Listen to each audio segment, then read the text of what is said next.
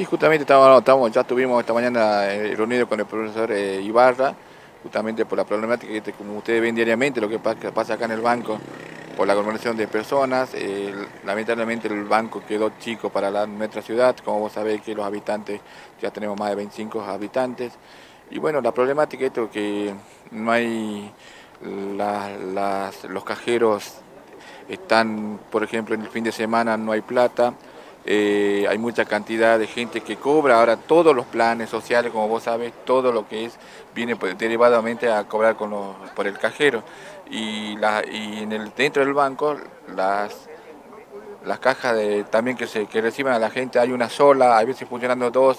y la cantidad de gente que hay acá realmente no alcanza, ¿sí? Tenemos mucha gente anciana acá, de la tercera edad, que está esperando toda la mañana. Nosotros del Consejo Deliberante, con todos los concejales,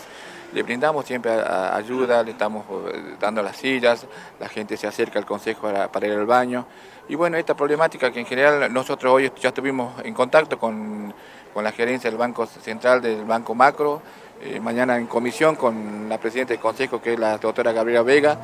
eh, vamos a tratar esto en comisión con todos los concejales y vamos a elevar una nota correspondiente al, banco, al banco macro, a la Casa Central que es San Salvador de, Jujuy.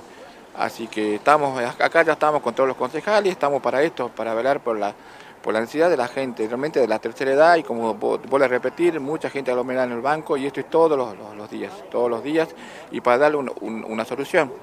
Así que la gente se quede tranquila. Nosotros del Consejo Deliberante, te voy a repetir con, Gabriela Vega, que es nuestra presidenta, vamos a, vamos a presentar la nota correspondiente al, Banco de Caja, al Banco Central que es en de, de Jujuy para solucionar esto para la gente, para darle algo viable.